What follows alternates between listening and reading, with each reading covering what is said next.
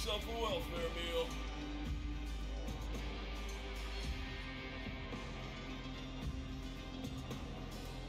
A word of advice don't break the law.